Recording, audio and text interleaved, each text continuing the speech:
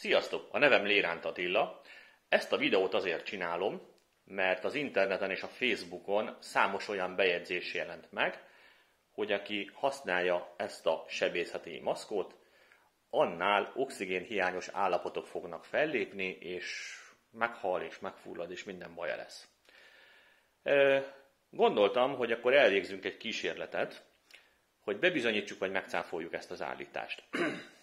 Van itt a kezemen egy kutyaközönséges véroxigén szint mérő. Azt kell róla tudni, hogy ilyet bárhol bárki be tud szerezni. Az orvosi műszerboltoktól kezdve az AliExpressen keresztül, sőt, szokta árulni az Aldi és a Lidl is. Rólam annyit kell tudni, hogy én már elmúltam 50 éves, nem élek ö, egészséges életmódot, nem is vagyok túl egészséges, ráadásul még irodai munkát is végzek.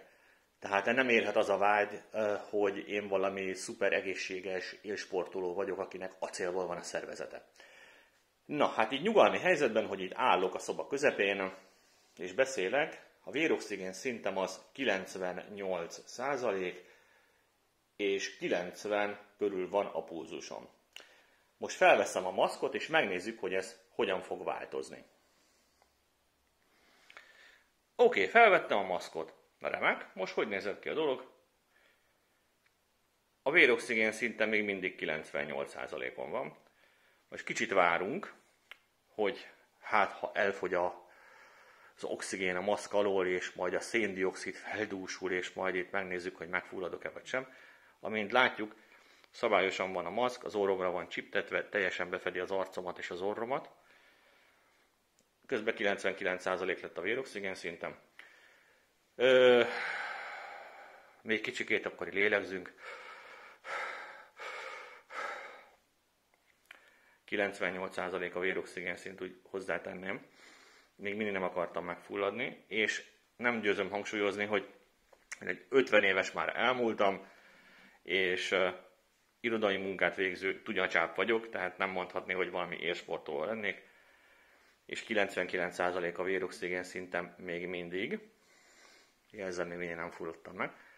Akkor kicsit akkor most itt sétálok fel alá, sőt, felmegyek ezen a lépcsőn, hogy legyen valami terhelés is a dologba,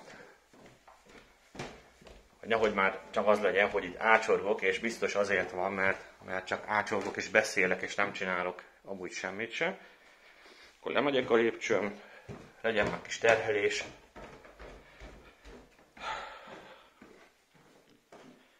pulzusom az feljebb is ment, de a véroxigén szintem 98%-on van továbbra is.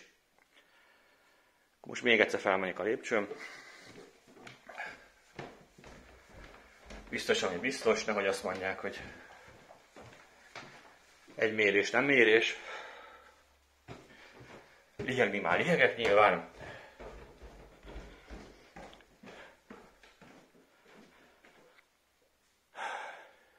Itt is van. 97, 116, 117 a, a véroxigén szint.